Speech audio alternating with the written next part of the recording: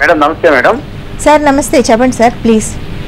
Madam నా పేరు మోజస్ కిరణ్ కుమార్. నా నా ఏజ్ వచ్చి forty five years madam. Okay. నాకు త్రీ ఇయర్స్ వరకు ఎలాంటి ఇబ్బంది లేదు మేడం పళ్ళల్లో. త్రీ ఇయర్స్ నుంచి ఒక పన్ను పుచ్చింది రైట్ సైడ్ కింద దవడి పళ్ళు. రైట్. అది నల్లగా ఒక ఇది మాదిరిగా వచ్చిన తర్వాత పుచ్చింది మేడం. Right okay. అది ఉన్నటువంటి హాఫ్గా ఇరిగిపోయింది మేడం. ఓకే. మళ్ళీ రైట్ సైడ్లో కూడా ఇంకోటి సన్నగా ఉన్నింది. అది కూడా రైట్ సైడ్లో సగం పన్ను ఇరిగిపోయింది మేడం. ఓకే. ఇది ఎందుకు జరుగుతా ఉంది దీనికి నాకేమైనా ట్రీట్మెంట్ ఉందా?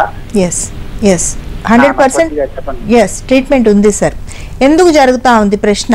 ఇది మన కిరణ్ గారిదే కాదు చాలా మందికి పళ్ళు నల్లగా మారుతుంటాయి అవి ముక్కులు ముక్కులుగా విరిగిపోతూ ఉంటాయి.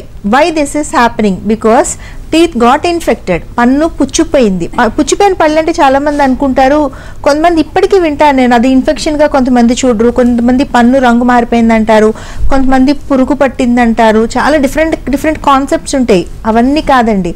పన్నుకి జబ్బు చేసింది పన్ను ఇన్ఫెక్ట్ అవ్వడం వల్లే పన్ను విరిగిపోతుంటుంది. పన్ను అనేది ఎముక కన్నా గట్టిగా ఉంటుంది. అట్లాంటి గట్టిగా ఉండే పన్ను మధ్యకి రెండు ముక్కల పళ్ళని ఇరిగిపోతుంది అంటే ఇన్ఫెక్షన్ అనేది పన్నును తినేయడం వల్ల జరుగుతుంది.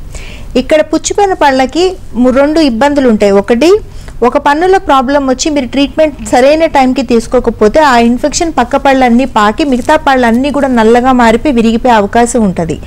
రెండోది పన్నులో పుచ్చిపోవడం అంటే పన్ను పైన రంధ్రం ఏర్పడడం. దాన్ని మీరు సకాలంలో ట్రీట్మెంట్ చేసుకుని ఆ రంధ్రాన్ని క్లోజ్ చేసుకోకపోతే ఏమవుతుంది? మీరు తినే ఫుడ్ పార్టికల్స్ కానీ బ్యాక్టీరియా కానీ ఇన్ఫెక్షన్ కానీ నేరుగా పన్ను దగ్గర నుంచి కింద నుండి ఎముకకి యాక్సెస్ ఉంటుంది. సో మీరు అలానే వదిలిపెట్టారు ఏమవుతుంది? ఇన్ఫెక్షన్ అంతా ఆ రంధ్రంలోంచి ఎముక వరకు వెళ్ళి ఎముకలో గడ్డలయ్యి ఒక్కోసారి ఎముకను తీసేయడం క్యాన్సర్ గడ్డల కింద కన్వర్ట్ అయ్యే ఛాన్సెస్ ఉంటాయి. సో పుచ్చిపోయిన పళ్ళని అశ్రద్ధ చేయకూడదు. కానీ ట్రీట్మెంట్స్ చాలా సింపుల్ అండి. కిరణ్ గారు మీకు కూడా చెప్తున్నాను. పన్ను మధ్యకి విరిగిపోయి దానికి ఏం వాల్స్ లేకపోతే తీసి మళ్ళీ ఫిక్స్డ్ పళ్ళు పెట్టుకోవచ్చు.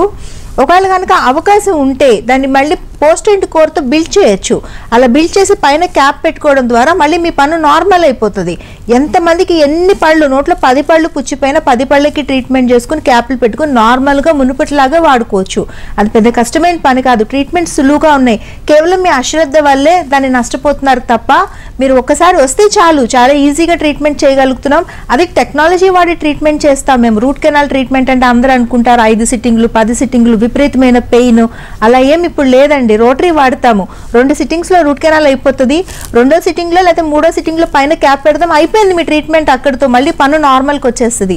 తిరుపతిలో పెద్దకాపు లేఅవుట్ దగ్గర మా బ్రాంచ్ ఉంది సార్. మీరు ఒకసారి శ్రమ అనుకోకపోతే డాక్టర్ గారి దగ్గరికి వెళ్ళి నేరుగా కలవండి. ఇలా ఎంతోమంది ఇబ్బంది పడుతుంటారండి. వాళ్ళకి ఎన్నో డౌట్స్ ఉంటాయి. పార్థ డెంటల్ వన్ థర్టీ బ్రాంచెస్లో ఫ్రీ కన్సల్టేషన్ ఉంది. మీరు ఇంట్రెస్టెడ్ అయితే ఒకసారి ఏ బ్రాంచ్ కన్నా వెళ్ళి డాక్టర్ గారిని కలవచ్చు. వాళ్ళు చెకప్ చేసి మీకు ట్రీట్మెంట్ ప్లాన్ ఇస్తారు. మీరు కన్విన్స్ అయితే మేము ట్రీట్మెంట్ చాలా చక్కగా చేస్తాము. సక్సెస్ రేట్ కూడా బాగుంది మా దగ్గర.